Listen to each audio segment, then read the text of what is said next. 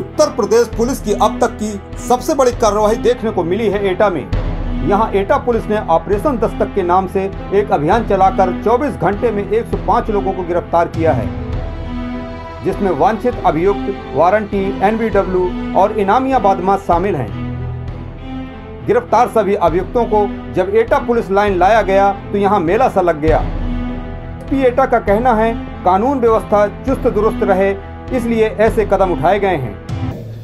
कि इस 24 घंटे के पूरे डिटेल्ड अभियान में हमारी सभी थाने की टीमों ने बहुत अच्छे से प्रयास किया और क्षेत्राधिकारी महोदय सभी सर्कल के नेतृत्व में टीमें गठित की गई ब्रीफ किया गया डिब्रीफिंग किया गया।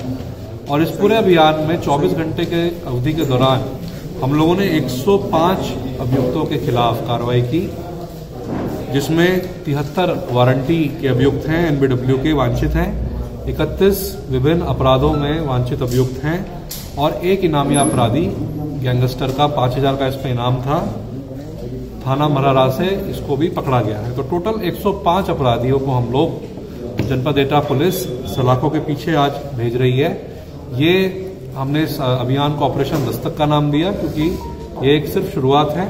अपराधियों के खिलाफ कार्रवाई की और आगे भी इस तरीके के अभियान निरंतर हमारे स्तर पर चलते रहे। सूबे में जब से योगी सरकार बनी है, तब से ही बदमाशों की धरपकड़ की कार्रवाइयाँ चल रही हैं। लेकिन इतनी बड़ी कार्रवाई पहली बार देखने को मिली, जो सिर्फ़ 24 घंटे में की गई है। इस कार्रवाई को चुनाव से भी जोड़कर देखा जा रहा है, क्योंकि अब लोकसभा चुनाव में ज़्यादा वक्त नहीं रह गया है। एटा से न्यूज़ 75 के लिए आरबी द्विवेदी की रिपोर्ट।